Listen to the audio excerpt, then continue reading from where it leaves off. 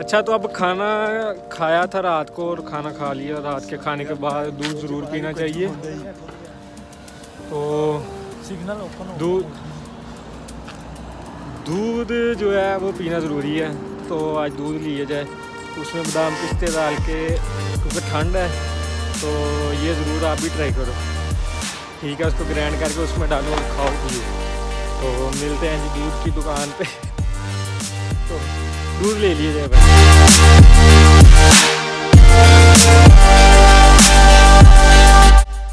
का एक डिब्बा है दूध का। तो क्योंकि हम ये पाकिस्तान से तकरीबन सस्ता ही है। पाकिस्तान से सस्ता ही है। और दूध क्या ये वाला लो आप डिब्बा मलो जो न्यू है। मोलोको। तो ये रिकमेंड मैं करूँगा ये वाला लो। सिम सर ये हमने तो- दो डब्बे लिए हैं सर के। तो पैंतीस का एक डिब्बा मिला है दूध का।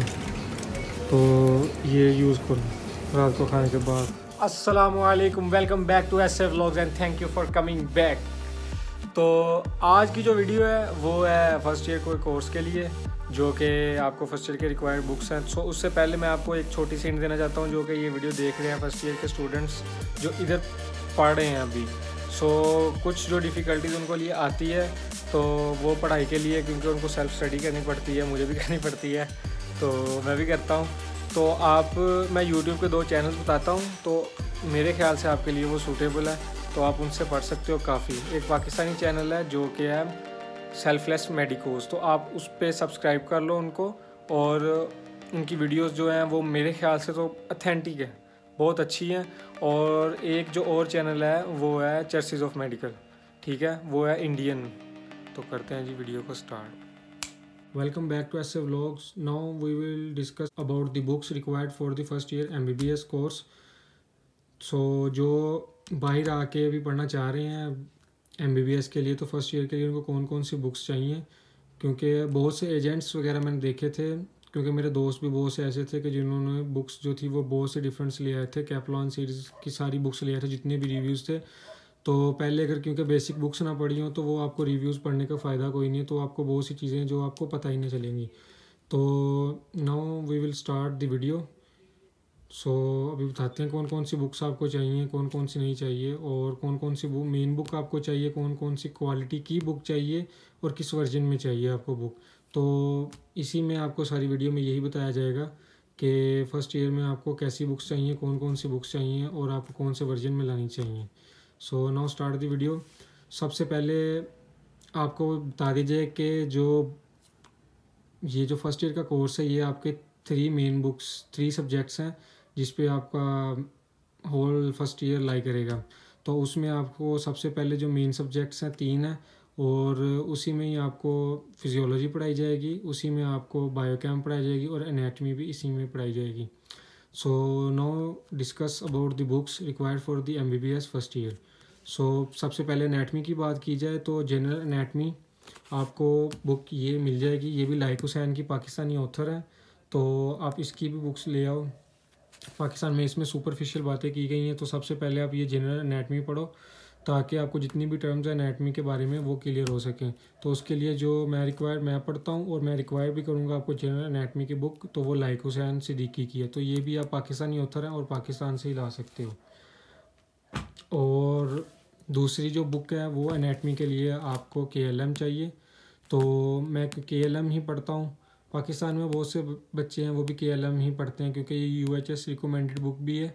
तो इसमें सिंपल वर्डिंग भी है तो आप इससे भी पढ़ सकते हो। लेकिन अगर आपने, क्योंकि मेन बुक जो आपने रखनी चाहिए, आपको जो, मैंने जो मेन बुक रखी है, वो है के एल एम ये वाली। तो क्लिनिकल ओरिएंटेड एनेटमी तो मैं भी आपको यही प्रेफर करूँगा कि आप ये वाली बुक लो, और साथ में अगर एडिशनल कोई बुक रखना चाहते हो तो बी डी चौरसिया रख सकते हो।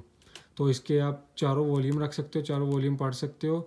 लेकिन जो आपको फ़र्स्ट ईयर में रिक्वायर्ड है, वो आपको फ़र्स्ट टू रिक्वायर्ड है। लेकिन जो अभी वन एंड हाफ़ ईयर के लिए इधर रहेंगे फेब सेशन में आएँगे और नेक्स्ट ईयर के जुलाई में जाएँगे। तो उनके थ्री सेमेस्टर्स होंगे तो उनको लिए जो रिक्वायर्ड है, वो यही तीन वॉल्यूम्स रिक्वायर्ड हैं।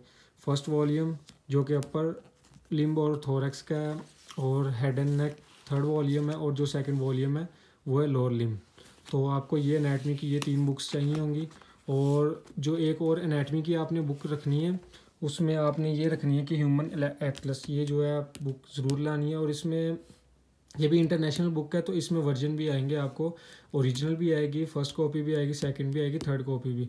तो मैंने फ़र्स्ट कॉपीज़ ली हुई हैं ओरिजिनल लोगे तो महँगी मिलेगी, लेकिन आपको अगर ओरिजिनल कोई बुक लेनी है इनमें से तो आप ह्यूमन एटलस ये वाली जो एटलस ऑफ़ ह्यूमन एनाटमी ये लो। इसमें जो, क्योंकि जो डायग्राम्स है, वो अच्छी से अच्छी और बेहतर बनी होंगी, जो आपकी फ़र्स्ट ईयर में चाहिए होंगी आपको। सेकेंड ईयर में भी ये चलेगी आपके लिए। ये तो आपके आपके लिए असेंशियल है, ये वाली बुक क्योंकि जब आप पढ़ोगे एनेटमी से कुछ भी तो आपके लिए ये क्लियर डायग्राम्स देख के तो आपके लिए पढ़ने में और कंसेप्ट क्लियर करने में और आसानी होगी।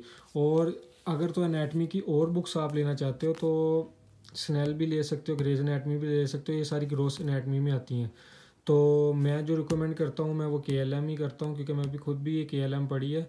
तो अगर आप ये नहीं लेना चाहते हो तो दूसरी पढ़ सकते हो। लेकिन अगर आपको क्लिनिकल इसमें, क्योंकि बहुत अच्छा दिया हुआ है तो क्लिनिकल पढ़ने के बाद आपको, क्योंकि कॉन्सेप्ट इसके अच्छे क्लियर हो जाएँगे तो मैं इसलिए प्रेफर यही करूँगा कि ये बुक्स दूसरी बुक्स में भी लिखा हुआ है एनेटमी की, कि आप उसमें भी क्लिनिकल जो जितना भी है, उससे भी पढ़ सकते हो। तो क्लिनिकल अगर तो आपने पढ़ना है एनेटमी के लिए तो आप दो, तीन, चार जितनी मर्ज़ी बुक्स रख लो, वो आपके लिए बेहतर ही है। लेकिन ये जो बुक है, ये इनफ है आपके लिए फ़र्स्ट ईयर के कोर्स के लिए एनेटमी की, और और एनेटमी में ही आप एम्ब्रियोलॉजी पढ़ोगे तो एम्ब्रियोलॉजी के लिए जो मैंने बुक रखी हुई है, वो भी के की रखी हुई है। आप बी डी जो रसिया की भी ले सकते हो जोन सी आपको अच्छी लगती है।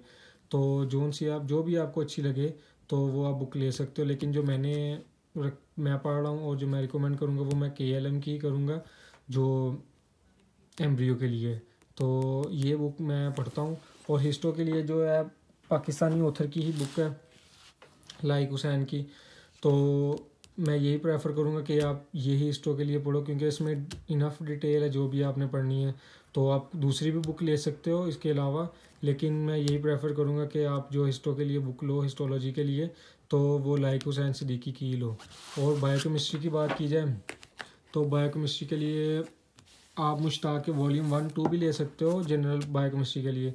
लेकिन ये आपके लिए इनफ है। लिपन कोड की आप ले लो बायोकेमिस्ट्री आपको मेन बुक ये बनानी चाहिए, क्योंकि अगर हारपर हारपर भी है बायोकेमिस्ट्री की, अगर तो आप हारपर लेते हो तो इसमें थोड़ी डिफ़िकल्ट लैंग्वेज यूज़ की गई है।